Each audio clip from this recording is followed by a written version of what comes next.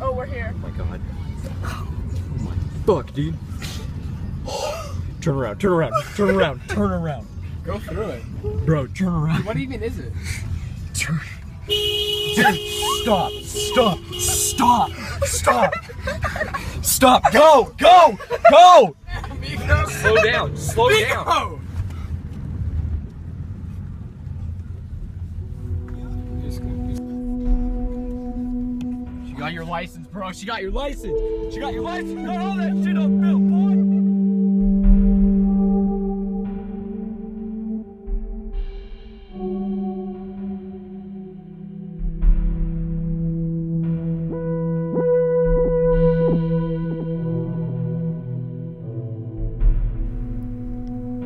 The following footage is from inside the gate of Oculus Anubis.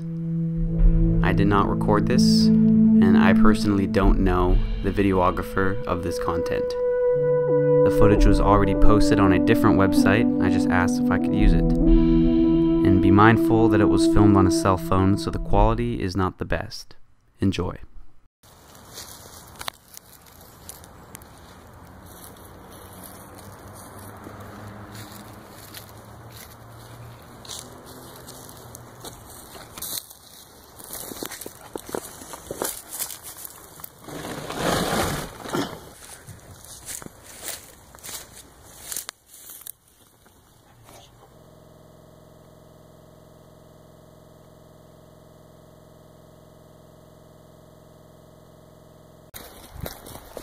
More torch stuff. Dude, that's why I slipped. I slipped.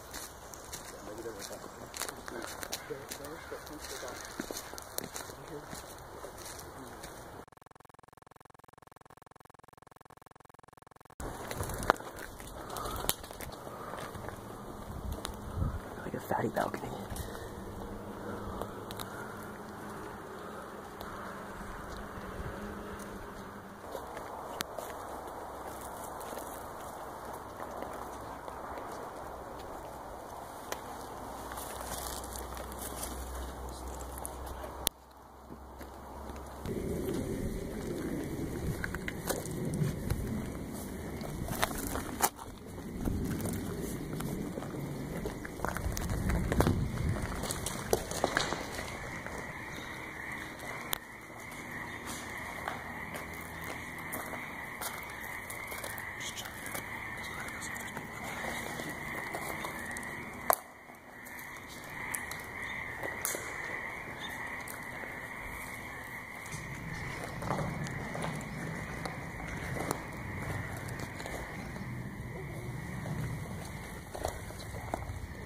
If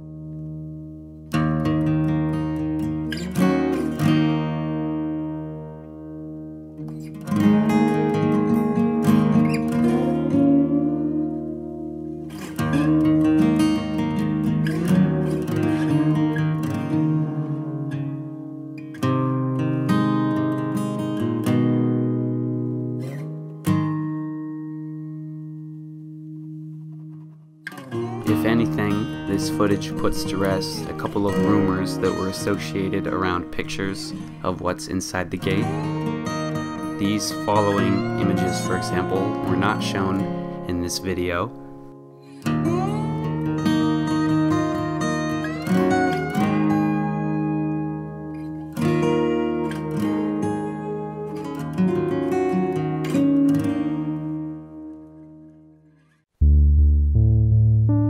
Attend the court hearing for Anthony Neal. It was noted that the father and son used about $3 million in Oculus funds to start building a multi million dollar, 35,000 square foot house. The house was being built for Anthony Neal and his wife, and I think that's what we were seeing here in this footage. Um, it was a construction, it didn't get finished, but it was complete with a helipad and a tennis pavilion. And one of the internet theories that turned out to be true was there are underground tunnels.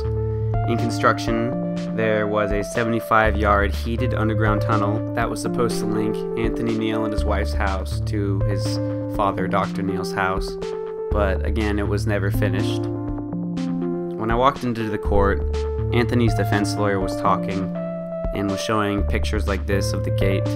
And he said that Anthony suffers from autism and he was manipulated by his dad. He was a servant to his monstrous and distorted father. So he pretty much was pleading that Anthony was manipulated into committing these crimes. The opposing attorney agreed that Dr. Neal was the mastermind behind the whole Oculus scheme, but he didn't accept that Anthony was necessarily his father's puppet.